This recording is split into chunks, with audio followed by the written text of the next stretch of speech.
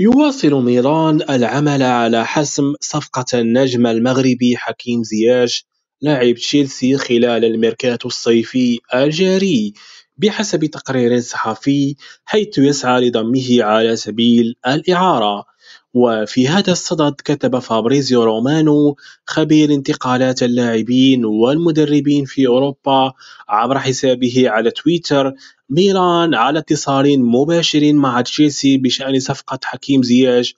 منذ الأسبوع الماضي. وأضاف رومانو ميلان واثق من أن زياش منفتح تماما على الانضمام إليه ويتفاوض الناديان الآن حول صيغة الصفقة. وحاول ميلان ضم زياش خلال الصيف الماضي لتعويض رحيل هاكان لكنه لم يصل إلى اتفاق مع البلوز. يذكر أن ميلان توج بلقب الدوري الإيطالي في الموسم المنصرم لأول مرة منذ 11 عامًا.